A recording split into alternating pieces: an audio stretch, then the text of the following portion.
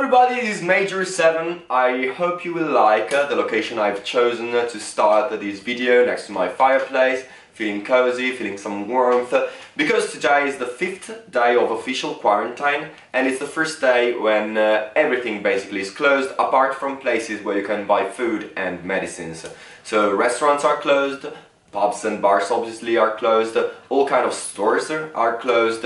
Basically, if we wanted to move from home to buy food for urgencies and necessities, we have to fill this paper specifying why we are moving from home also on food from today. So all the Italian people out there following me will definitely know what I'm talking about. I just wanted all the other people outside of Italy to be aware of the situation and maybe to start questioning if their governments are doing enough to handle the situation with this coronavirus because it was underestimated by everyone. Also in Italy at the beginning the measures that we took were not enough to contain this virus. The situation of the healthcare system in Italy right now is definitely not uh, uh, the best. So to all the people that are following me from outside of Italy, just know that this thing is serious. So if the situation starts becoming serious in your country as well, please don't underestimate this thing. Obviously I hope that it doesn't happen, but I just wanted you to be aware of it. Obviously this situation has its huge cons. I really um,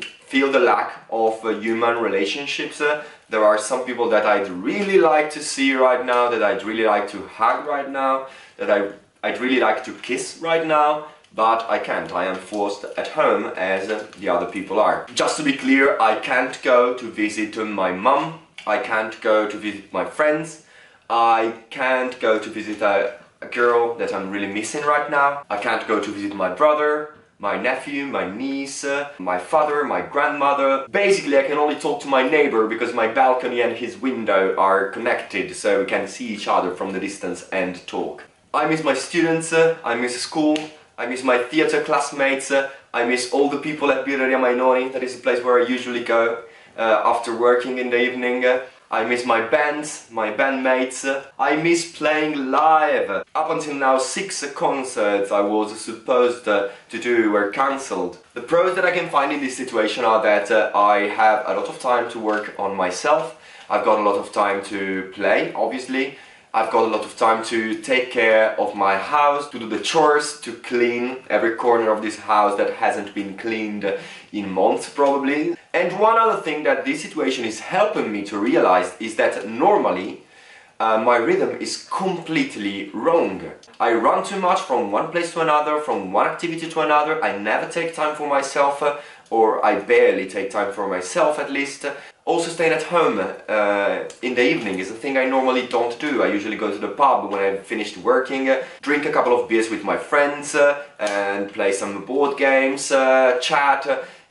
It's obviously an activity that I am missing a lot right now, but probably doing it every day, every week is a little bit too much. That's another way I'm not taking care of myself, I'm not spending time with myself, I am distracting myself from uh, other priorities. So I really hope that this situation will help us realizing uh, what are our priorities uh, and uh, will help us to work better with ourselves, uh, to uh, look inward a lot more than we are used to because now we are sort of forced to do it. We are going to be in this situation for sure until the 3rd of April but my feeling is that it's probably gonna be longer than that. But cheer up, we've got the technology to keep in contact with everyone and uh, we've got a lot of time to work on ourselves.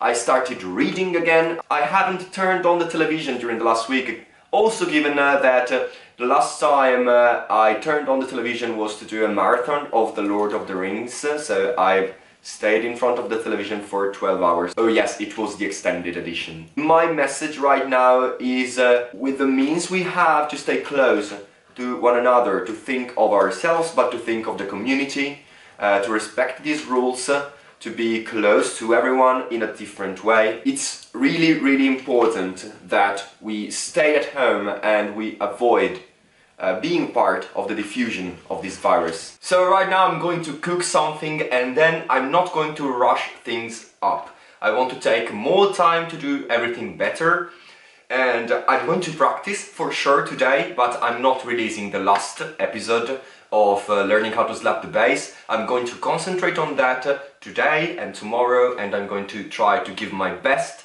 for this thing and to close this series in the best way. So once again, thank you all for watching. Bye bye by Major7even. See you tomorrow.